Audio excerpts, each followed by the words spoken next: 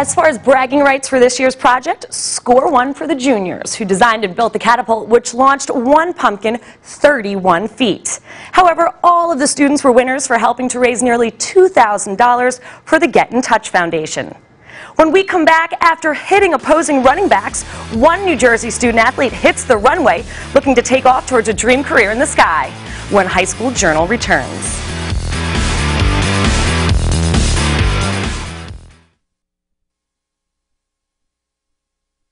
Halligan when I was in college on air.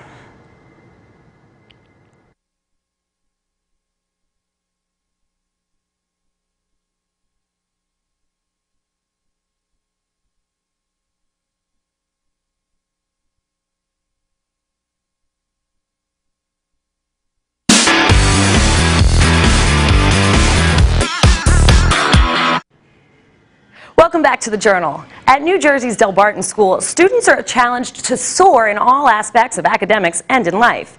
It's safe to say senior Derrick Flitcroft is taking that challenge to heart. Jared Greenberg reports. Each fall, Delbarton's Derrick Flitcroft is hard at work, making tackles on the football gridiron. Every winter, he's tenaciously pitting foes to the wrestling mat. But year-round, he's busy battling his most challenging opponent, taking to the skies to achieve his pilot's license. A friend of mine had, had a plane, and the first time he went up, he put him in the co-pilot seat. As we were leaving New Jersey, he decided to turn the, the controls over to Derrick.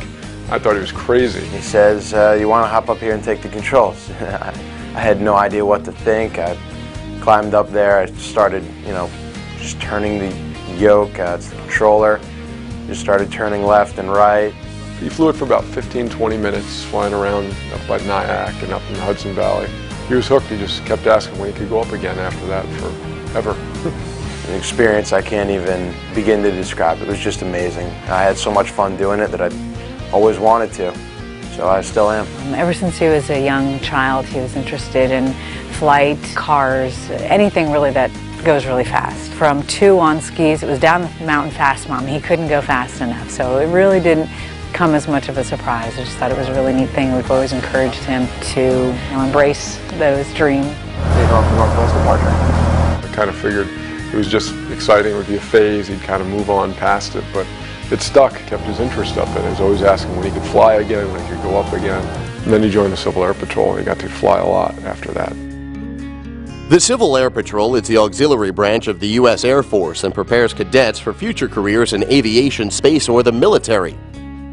When uh, he found out that they could fly in Civil Air Patrol, he was 11. So he tried to sign up and join. The only program starts when you're 12. So he started going every Wednesday night and sat through the meetings uh, and watched and participated, but he couldn't officially be a member. So he, he was there for about nine months every Wednesday night just because he wanted to get back in the cockpit. They also provide orientation flights for free. You get up there and you get to learn how to fly the plane and it was amazing. I was able to do five of them, my first five, and I knew right from there that this is definitely what I wanted to do. I want to check the fuel, make sure there's no impurities, we don't have anything in it. Though the Civil Air Patrol helped give him a flying start, Derrick has intensely pursued his aeronautic dream, starting private flying lessons as a teen.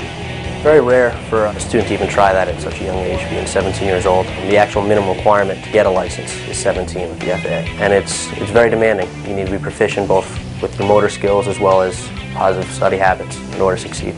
Trim tab is going to be set a little off. You don't want to touch it. We're looking for all antennas, making sure stuff's on. See anything broken off, could have a problem. Derrick's a very good student. He's very proficient. He's well motivated. He's above the curve as far as um, hours required to solo. He's about 10 hours right now.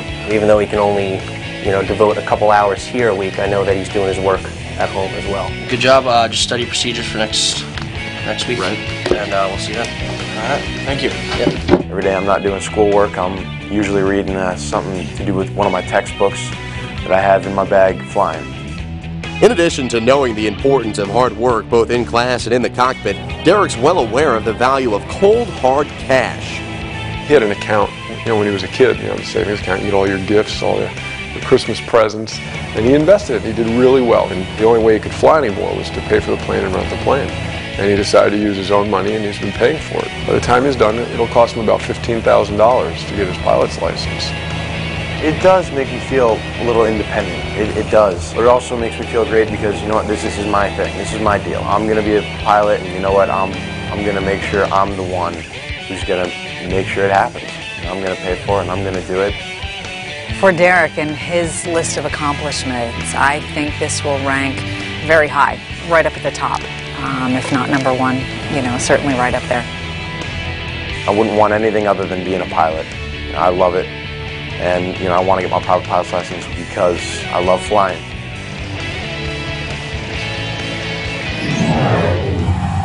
Flitcroft says he plans on not only achieving his pilot's license, but looks to fly for the U.S. Air Force. His aerial exploits have seemed to rub off on his 12-year-old brother, Aaron, who's now also a member of the Civil Air Patrol.